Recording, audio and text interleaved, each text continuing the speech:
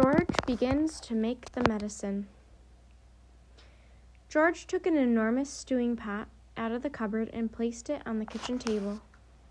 George! came the shrill voice from the next room. What are you doing? Nothing, Grandma, he called out. You needn't think I can't hear you just because you closed the door.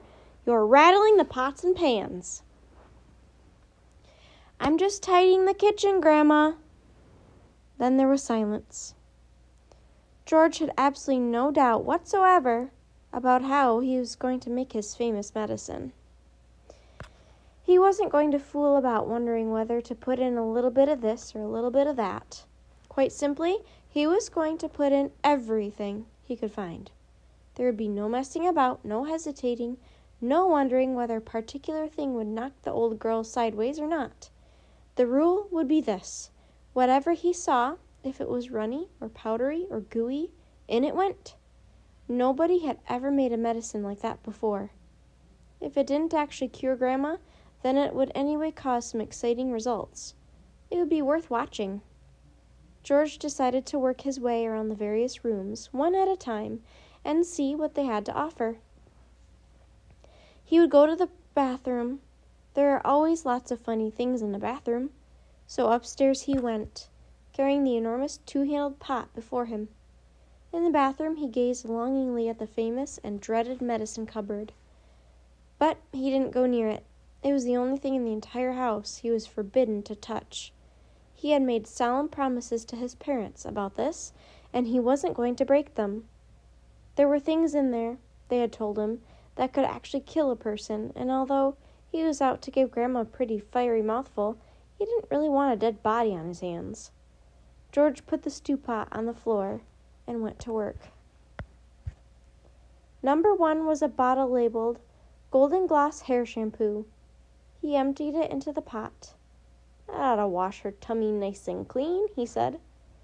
He took a full tube of toothpaste and squeezed out the whole lot of it in one long worm. Maybe that will brighten up those horrid brown teeth of hers, he said. There was an aerosol can of super foam shaving soap belonging to his father. George loved playing with aerosols. He pressed the button and kept his finger on it until there was nothing left. A wonderful mountain of white foam built up in the giant pot. With his fingers, he scooped out the contents of a jar of vitamin enriched face cream. In went a small bottle of scarlet nail polish. The toothpaste doesn't clean your teeth, George said, then this will paint them as red as roses. He found another jar, jar of creamy stuff labeled hair, hair removal Smear it on your legs, it said, and allow to remain for five minutes. George tipped it all into the pot. There was a bottle with yellow stuff inside it called Dishworth's Famous Dandruff Cure. In it went. There was something called Brillident for cleaning false teeth. It was a white powder. In that went too. He found another aerosol can. Nevermore Ponking deodorant spray, guaranteed. It said to keep away unpleasant body smells for a whole day. She could use plenty of that, George said as he sprayed the entire canful into the stewing pot. Liquid paraffin, the next one was called. It was a big bottle. He hadn't the faintest idea what it did to you, but he poured it in anyway. That, he thought, looking around him, was about all from the bathroom. On his mother's dressing table in the bedroom, George found yet another lovely aerosol can. It was called Helga's Hair Set. Hold 12 inches away from the hair and spray lightly. He squirted the whole lot into the pot. He did enjoy squirting those aerosols. There was a bottle of perfume called Flowers of Turnips. It smelled of old cheese. and it went. And in two went a large round box of powder that was called pink plaster.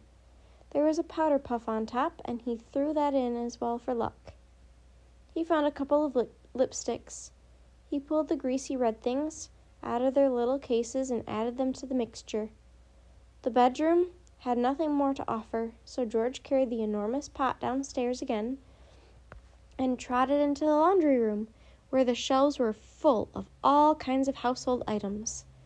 The first one he took down was a large box of super white for automatic washing machine dirt. It said, Will disappear like magic.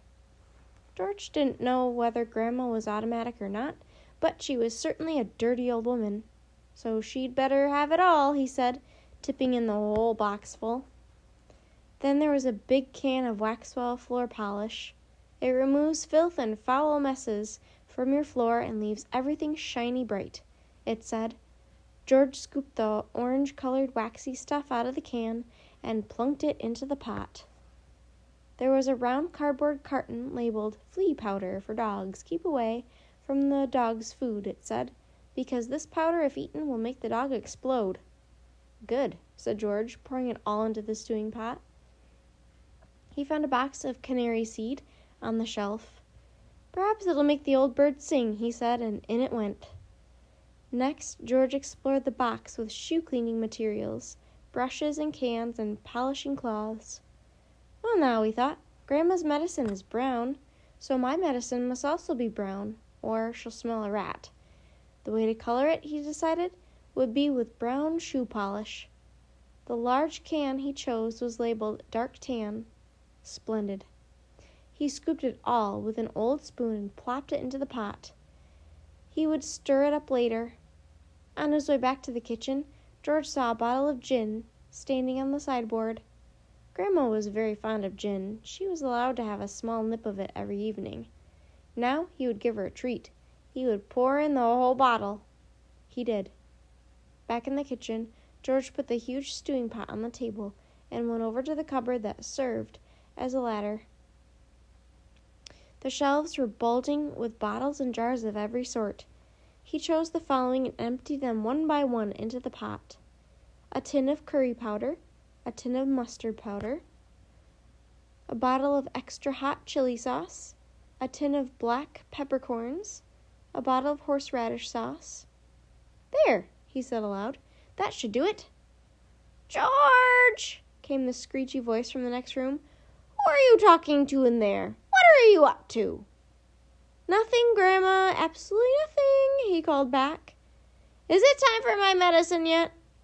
No, Grandma, not for about half an hour. Well, just see you don't forget it. I won't, Grandma, George answered. I promise I won't.